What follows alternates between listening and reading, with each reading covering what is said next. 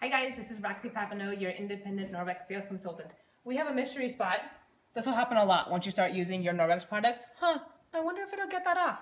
So we're gonna try it. So this is our cleaning paste. Now, it does say not to use on, on brushed stainless steel surfaces. So you, if you have a fridge that has like that old 90s wavy pattern, don't use it on that because the cleaning paste will rub it off. But this is just regular stainless steel. There's no brush pattern to it. So um, the cleaning paste is marble flour, natural soap, and traces of coconut oil. So I'm gonna rub my EnviroCloth on the cleaning paste a little bit. I'm just using a smidgen. And we're gonna get to work. Whoa. Oh, yeah. Oh, yeah. And then polish it with the other side. There we go.